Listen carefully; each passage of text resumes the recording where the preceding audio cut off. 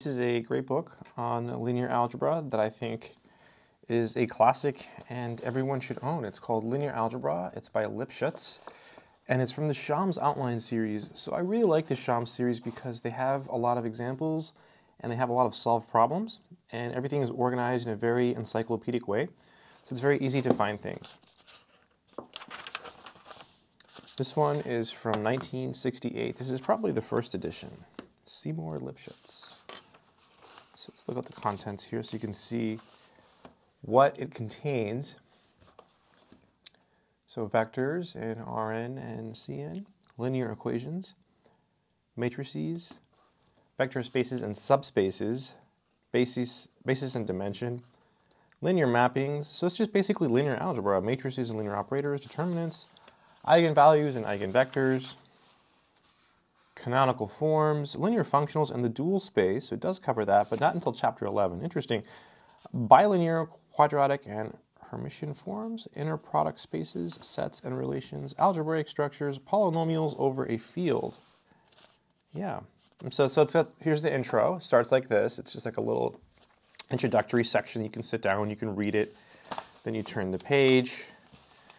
Then you have another little subsection here, and then you have uh, really easy vector addition, multiplication, the dot product, all this is very simple mathematics. Norm and distance, just a formula you use.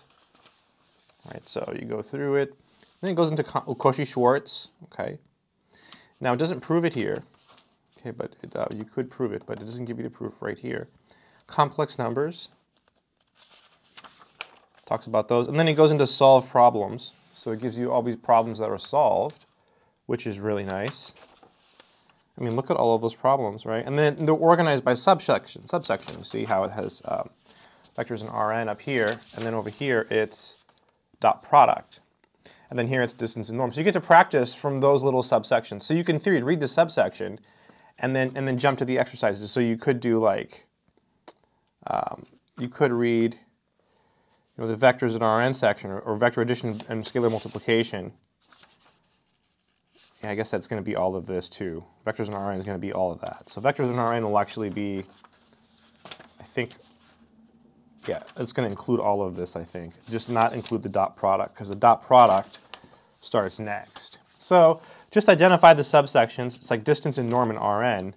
That's just going to be norm and distance in Rn probably, just this little subsection here. And perhaps some information that you needed in order to get here. So that's something else to keep in mind, right? Because it's a math book. And several subjects are very linear in nature, and linear algebra being one of them. Um, there's a lot of theorems and propositions that build on other theorems and propositions, and so uh, there's a lot of knowledge there. It's, it's really cool. Yeah, this is nice. The vector space of polynomials with real coefficients. Yeah. W is all the polynomials with integral coefficients. Is that a subspace? All polynomials with degree less than or equal to 3, is that a subspace? Polynomials of this form with only even powers of t, is that a subspace? So we have to check all of these. Now, I don't know if this one has answers, like 415. Well, I guess they do check them here. 1, 2, and 3. Yeah, they do them really quickly. They do give you the answers there. Sometimes they have exercises near the end here we go, supplementary problems, where they don't give you the answers. I thought we were looking at those. We're not there yet. Here we are. Supplementary problems. So this is where they give you the answers, and um, they, where they don't give you the answers, right? Sometimes they have them in the back of the book, or here. Boom, there it is. So this one does give you the answers to the supplementary problems. Not all of them, though, like 47. Where's 48 and 49? Let's go back. So here's 48 and 49. They're proofs. Okay, they want you to prove some stuff. Well, it's 49, and then 48, 48 is here. Yeah, it's a proof also. So if you go to the answers, there's no 48 and 49. They give you 50. They give you two parts of 50. 50 is uh, a big proof. Yeah, so you have to do a bunch of stuff here. Show that W is a subspace of V in each of the following cases. Wow, that's cool. You can make, it's pretty cool. Pretty, a lot of problems here. A lot of exercises right? Look at that.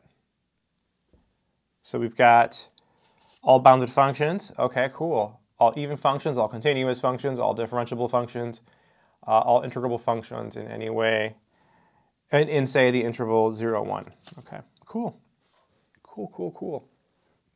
But yeah, this is just an interesting book. I thought I would uh, show it all to you because uh, it, uh, it can be used to supplement your course. So if you're taking a linear algebra course in college, this can make a, a great supplement. Um, it can also be used for self-study. This is one of the better ones. It's, got, it's probably going to have what you're looking for. You can look in the, um, uh, in the index back here, and you can find what you're looking for. Um, so like let's say you forgot, you can look up diagonalization. So there it is, and then 288, 290, 155, 199. So you've got a couple places there you can go uh, and look that up. The Jordan canonical form, right? This is something that uh, is often taught uh, and is often confusing. so I remember the first time learning it thinking, oh no, here's the rational, and there's not a lot of examples, even in here, right? So I actually think I might have videos on the Jordan form. I think I, hopefully I, I did those at some point because I remember struggling to learn it and having to look in various books to find examples. I'm like, why are there not more examples of how to find the Jordan form? But it's like multiplying cycles. It's really hard to find examples of that in books, cycle multiplication in symmetric groups. Anyways, I just wanted to show you this book. It's pretty cool. Um, I like it. I'll try to leave a link in the description of this video to this book in case you want to check it out. Also, if you want to learn math, I do have math courses. I don't have a linear algebra course yet, but I do have like algebra, trig, calculus. They're on my website, mathsorcerer.com. The courses are actually on Udemy, but if you decide to get my courses, please use my links because it helps me and I lowered the prices, so you should be able to get a really low price if you use my links. But yeah, I've got uh, algebra, calculus, differential equations, stuff like that. Uh, we do do some linear algebra in the differential equations course I have, um, like just a little bit. Um, when you study uh, higher order linear differential equations with constant coefficients, um, you can bring in, typically these books bring in some linear algebra and discuss that. Um, but yeah, nice book, nice book.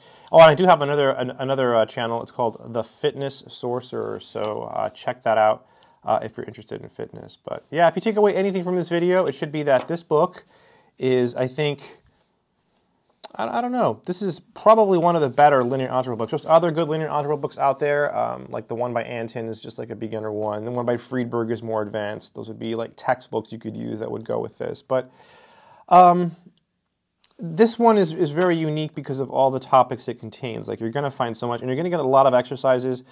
Uh, you know, you don't have answers to all of them, but you do get a lot of problems with solutions you can work through or shake your answer with. So it's kind of nice. And a lot of times in these Schaum's, they'll prove some of the bigger things in the exercises. Like there'll be an exercise, and then in your book, that exercise will be like a proposition or a lemma or a theorem. So they'll prove some of the bigger things that oftentimes textbooks will state, which is kind of fun. That's something else you get from a Schaum's, in particular this one. So anyways, until next time, good luck. Keep doing mathematics.